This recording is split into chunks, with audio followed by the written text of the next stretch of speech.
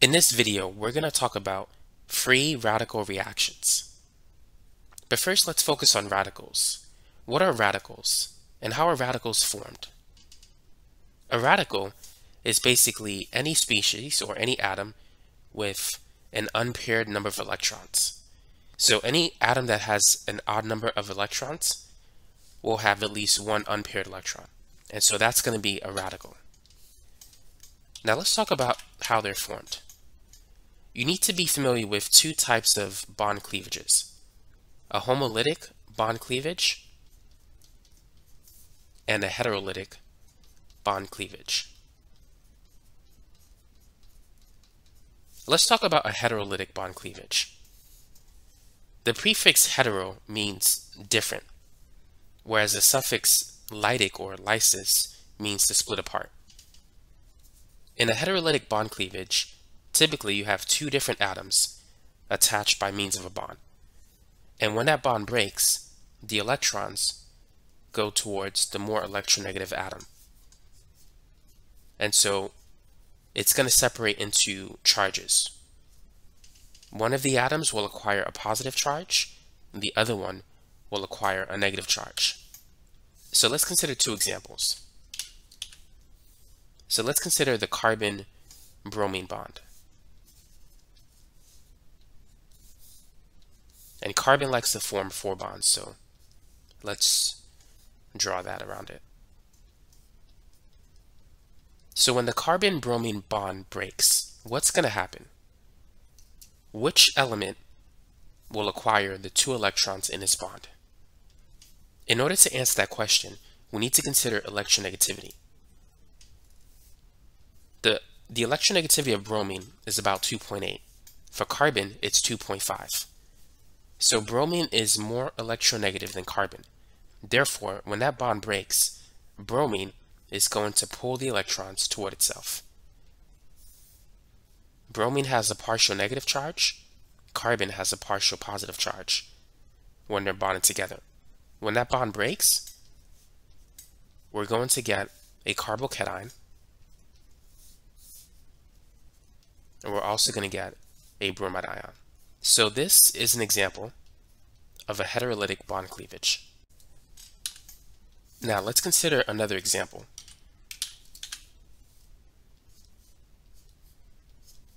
So this time we're going to attach carbon to hydrogen. Now when a carbon-hydrogen bond breaks, which element will receive the two electrons? Hydrogen has an electronegativity value of 2.1. For carbon, it's 2.5. So relative to hydrogen, carbon is partially negative, hydrogen is partially positive. So because carbon is more electronegative than hydrogen, when this bond breaks, the electrons will go to carbon. And so we're going to get a carbanion instead of a carbocation. And hydrogen will have a positive charge. So a heterolytic bond cleavage, when that occurs, you get two different ions. You get an ion with a positive charge and an ion with a negative charge. Because the electrons, they will be distributed unequally when that bond breaks. Well, in a homolytic bond cleavage, when the bond breaks, the electrons will be distributed equally. In a homolytic bond cleavage, you have two atoms of the same kind bonded to each other. So a good example of this would be two bromine atoms. If you were to add heat to bromine, or if you were to irradiate it with ultraviolet light, the bond between the two bromine atoms will break. Now, because each bromine atom are identical, they will pull on the electrons in that bond equally. So half of the electrons will go to the bromine on the left and the other half will go to the bromine on the right. Now keep in mind, a full arrow represents the flow of two electrons. A half arrow represents the flow of one electron. And so what we're going to get is two radicals or two bromine atoms. So as we can see, each bromine atom has an unpaired electron. So therefore, they're radicals. Radicals are very reactive. Bromine wants to have eight electrons. So it's going to react with something to strip off an electron so it can have eight. So radicals tend to be very, very reactive species. Now, when dealing with free radical reactions, you need to be able to identify three important steps. Initiation, propagation, and termination. So I'm going to show you how you can do that. The first step is initiation. And here's how you can tell. Whenever you have a neutral molecule turning into two radicals, that step is called initiation. So anytime you have two radicals on the right side of the equation, it's initiation. During propagation, you have one radical on the left and one radical on the right. And the last step, termination, this occurs anytime you have two radicals on the left. So remember, if you have two radicals on the right, it's initiation. If you have two radicals on the left, it's a termination step. And if you have a radical on the left and a radical on the right, it's a propagation step. For the sake of practice, go ahead and pause the video and then identify each reaction as either an initiation step, propagation, or termination step. So let's look at the first one. Is this initiation, propagation, or termination? Well, we have a radical on the left and a radical on the right. Since we have a radical on both sides of the equation, this is going to be a propagation step. Let me use a different color to identify it. Now what about number two? Is it initiation, propagation, or termination? Notice that we have two radicals on the left, and we don't have any on the right. So we're terminating the radicals. This is going to be a termination step. For number three, we don't have any radicals on the left, but we're creating two radicals on the right. So anytime you have two radicals on the right, it's initiation. For number four, we have two radicals on the left, the same as number two. So that is a termination step. For number five, we also have two radicals on the left. So that's termination. Number six, we have a radical on the left and one on the right. That's a propagation step. And number seven, the same is true. We have a radical on the left side and on the right side of the chemical equation. So that's another propagation step. So now that we've considered how to identify the steps of a radical reaction as being either initiation, propagation, or termination, let's talk about the chlorination of methane. So methane is an alkane, and we're going to react it with chlorine gas. Now, we can either add heat to it, or we can irradiate the mixture with ultraviolet light. Doing any one of these things will create radicals, and so this is going to be a free radical reaction. A free radical reaction is a substitution reaction. We're going to substitute one of the hydrogen atoms with chlorine. So we're going to get CH3Cl as one of the products, so this is methyl chloride, and the other product will be hydrochloric acid. So that's a free radical substitution reaction. But now let's talk about the mechanism for this process.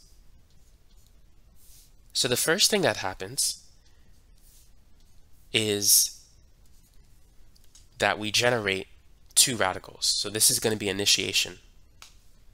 So we can either we can add heat or we can add ultraviolet light. And what's going to happen is this bond is going to break. So we're going to get a homolytic cleavage we're going to get two chlorine radicals. Now, if you want to, you can show all of the lone pairs on the chlorine atom. So chlorine actually has seven valence electrons.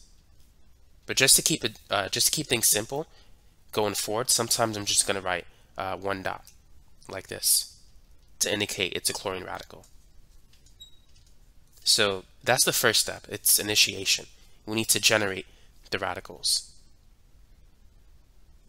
Now, once we have our chlorine radical,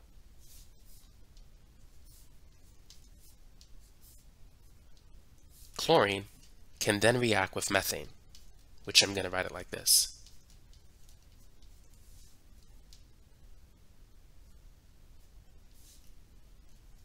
So one electron from chlorine will be used to form a bond between H and Cl.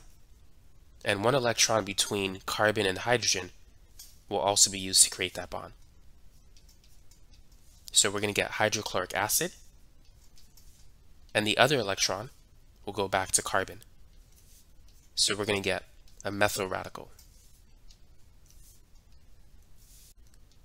Now what type of step is this? Would you say it's initiation, propagation, or termination? So notice that we have a radical on the left and one on the right. So this step is a propagation step. And so far we have one of the two products in a reaction. We need to get the other product. So here's what we can do to get it. We're going to start with the methyl radical. Actually, let's write chlorine first. So we're going to start with Cl2, and then we're going to react it with this methyl radical that we just formed.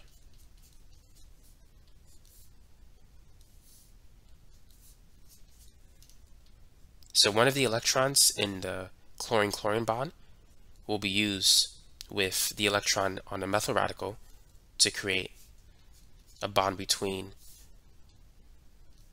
the methyl group and the chlorine atom, which I'm going to write it like this. So that's the same as methyl chloride. And then the other electron will go to this chlorine atom, regenerating the chlorine radical. So the process can be repeated. So this step is also a propagation step because we have a radical on the left and a radical on the right. So during the propagation step, the presence of radicals continue. During an initiation step, you're creating radicals.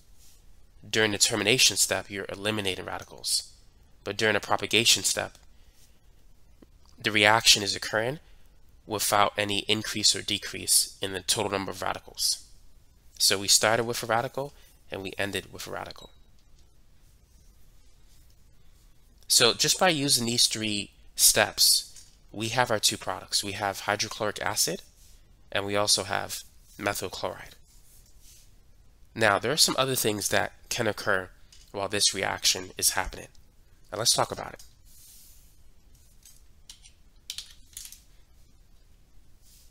So while the reaction is progressing, two chlorine radicals can react with each other.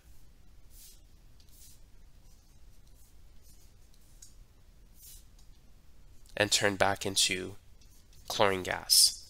So this is a termination step. This is completely possible. Something else that could happen is that a chlorine radical can terminate with a methyl radical.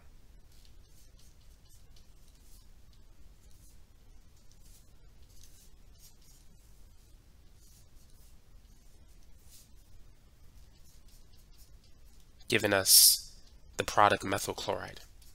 So that's another termination step. Or we can get two methyl radicals terminating each other. And this will give us ethane. So ethane is a byproduct of the chlorination of methane. So these are some termination steps that can occur during the chlorination of methane. Now consider the reaction between propane and chlorine gas.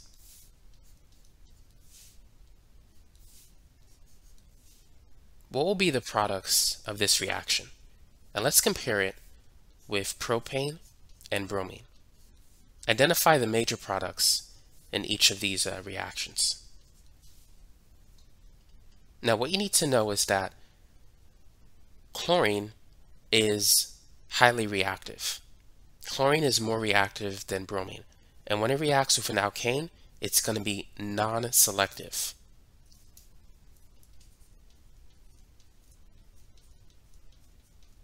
Bromine is less reactive than chlorine, and as a result, it's going to be selective.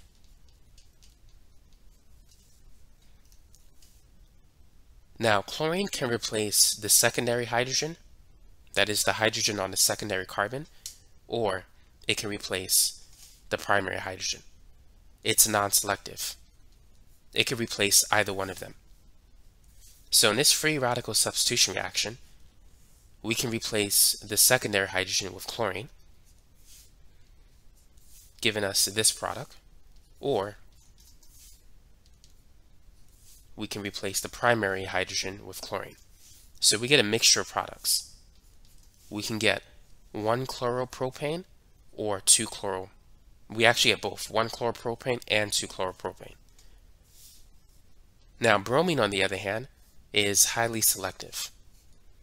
It's going to preferentially replace the secondary hydrogen as opposed to the primary hydrogen.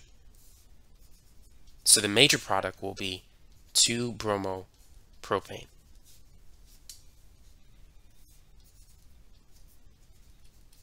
Now, as the reactivity of the halogen increases, the selectivity decreases. So if we were to focus on the periodic table, we have the halogens fluorine, chlorine, bromine, and iodine. Fluorine is highly reactive. Therefore, it's going to be the least selective. Iodine is not reactive enough to replace a hydrogen from an alkane. So the two that we tend to use are these two.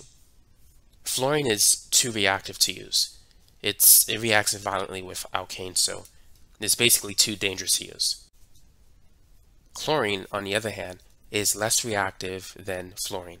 It's not as dangerous as fluorine, but it's reactive enough where it'll abstract any of these hydrogens that it encounters. Bromine reacts much more slowly than chlorine. It's less reactive. But it can react with either one of these two hydrogens. But because it reacts slowly, it's going to prefer to replace the secondary hydrogen over the primary hydrogen. And the reason for this has to do with radical stability.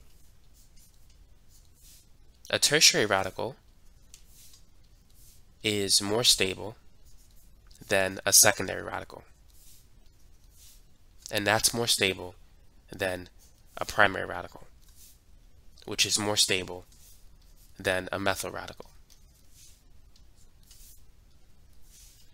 This is similar to the stability of carbocations. Radicals and carbocations, they're both electron deficient so they want electrons. Therefore, the trend for stability is the same. A secondary carbocation is more stable. I mean, a tertiary carbocation is more stable than a secondary one, and that's more stable than a primary carbocation, and so forth.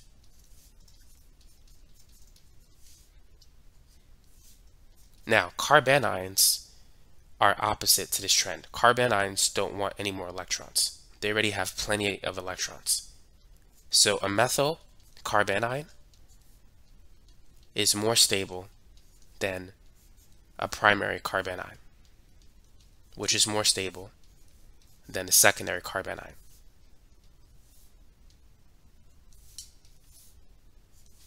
And tertiary carbanions are the least stable.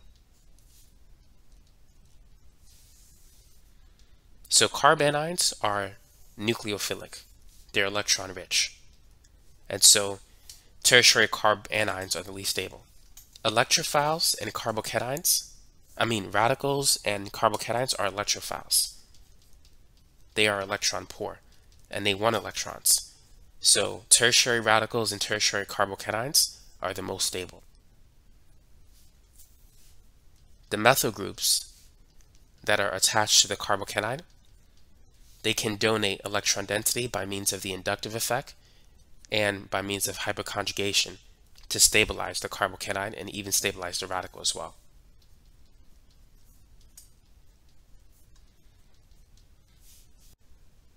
Now you might be wondering why the reaction between an alkane and chlorine is less selective than the reaction between an alkane and bromine. It has to do with the relative differences in the activation energies of each reaction. Now let's consider the reaction diagram between the alkane and chlorine. Would you say this is an endothermic reaction or an exothermic reaction? Notice that the energy of the reactants is greater than the energy of the products. So therefore, this is going to be an exothermic reaction. Now, according to the Hammond postulate, does the transition state resemble more like the reactants or more like the products? So notice that in an exothermic reaction, the transition state is closer in energy to the reactants. So therefore, it's going to resemble more like the reactants. Notice that the relative, like the energy differences between the products is large, but the energy differences between the reactants are small. And because the transition state resemble more like the reactants on the left side, or for the reaction between these two, the differences in activation energy will be small because the differences in the energy of the reactants is also small. Now let's consider the situation on the right. Do we have an exothermic reaction or an endothermic reaction? Notice that the energy of the products is greater than the energy of the reactants. So we have an endothermic reaction for the reaction between an alkane and bromine. So according to the Hammond postulate, the transition state resembles more like the products because they're closer in energy. Now, because the products have a huge difference in energy, the energy of the transition states will be significantly different. So therefore, the change in activation energy between each reaction is going to be larger. And here is the key.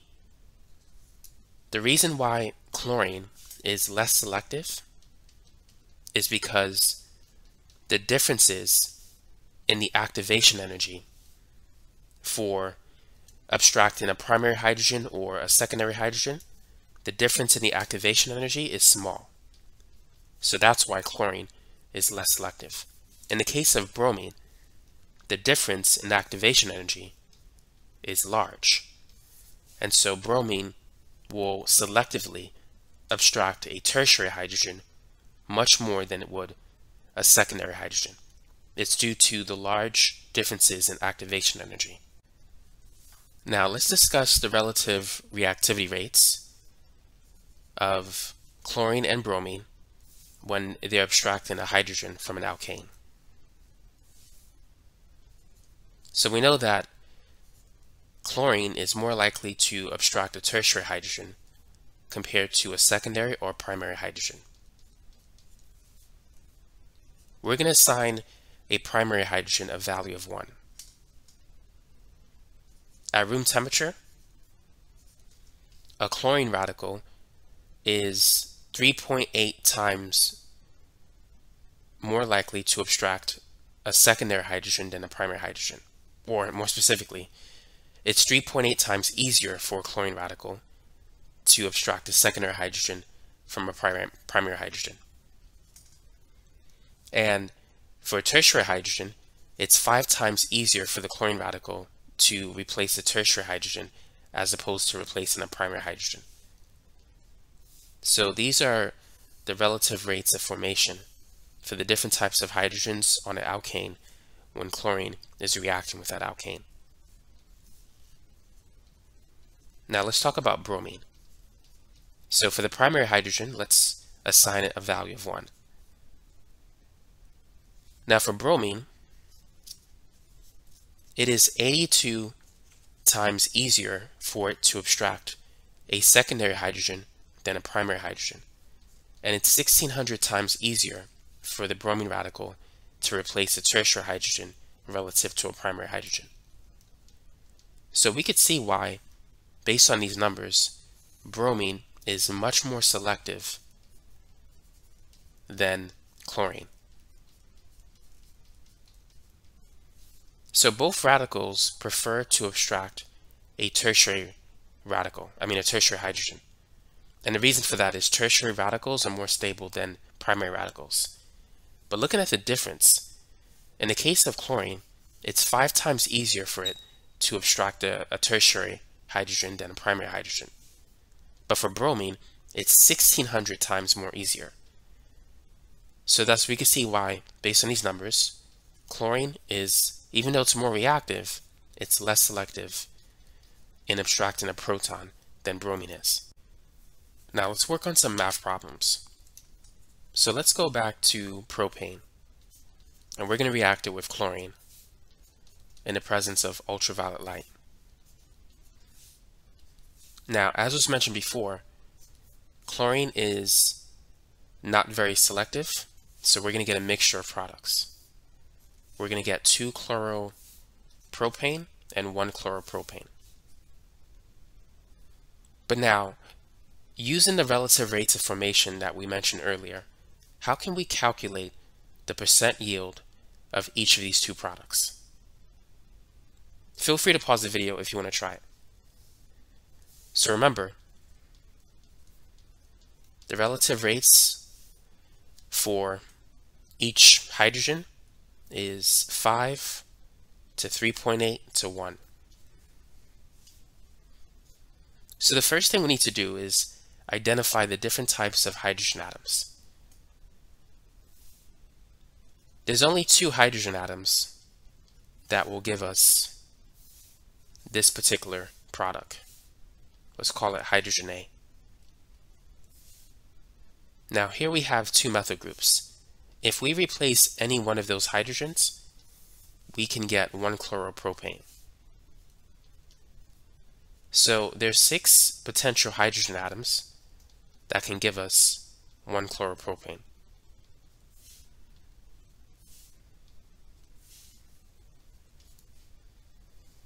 So now let's focus on the secondary hydrogen atoms, that is hydrogen A.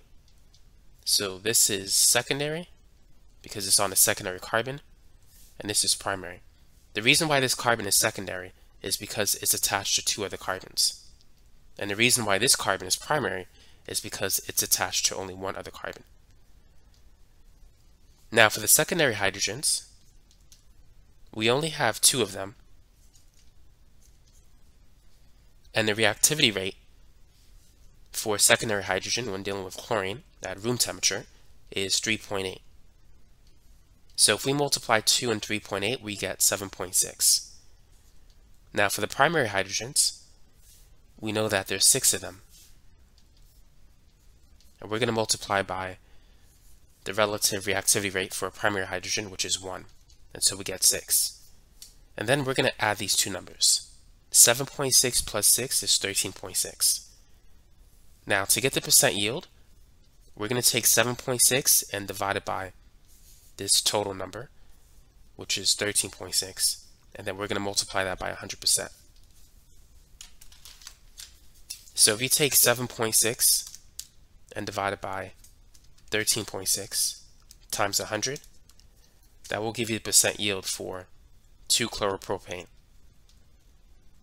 which is 55.9% if you round it.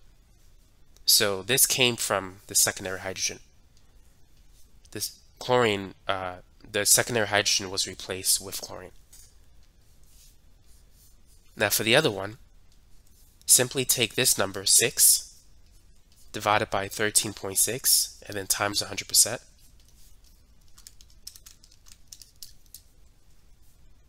And you get 44.1%. So that's the relative percent yield for one chloropropane.